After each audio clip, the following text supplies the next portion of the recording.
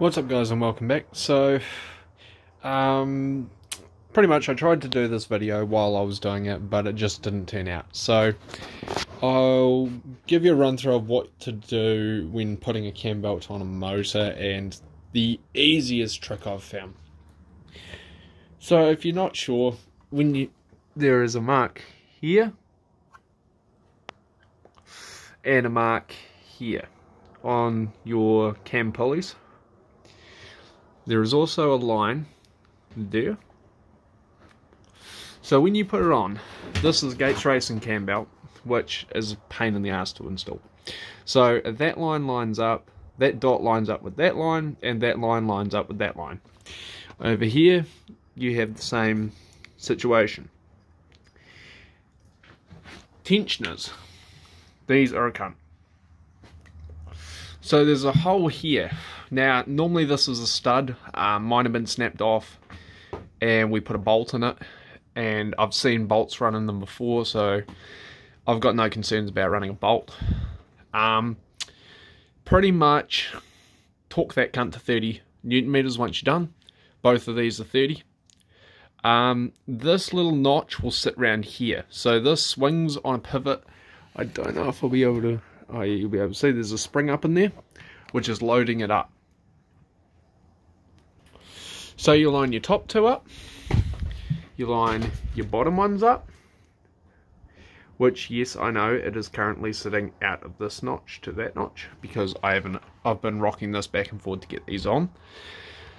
So the advantage of doing a bolt over a stud is that when you, all you do is you crack this off a little bit, you swing it around using a screwdriver or whatever you need, whatever way works for you, screwdriver, Allen key, you swing it right round to it it comes all the way up. You tighten the nut bolt up and it stays there. You don't have to fight it. You don't have to jerry rig bloody bits of cable tie to Allen keys and that kind of stuff. So that's a big bonus um, to doing it. And then what you do is you simply line the top two up here, up, line, do the bottom, this side first, make sure your lines are all lined up. So that one to that one. And then it won't fit perfectly, but you can rock this. I don't know if I'll be able to show it that easily. But this here rocks. See? So that little bit of movement you've got is because you haven't got the tension on the belt because this tensioner hasn't been set. So that allows me to rock this to get this on, and now I set my tension. So you just release the spring, push that round until these are tight. See that one there's quite firm. This one here is quite loose. So you got to take this out.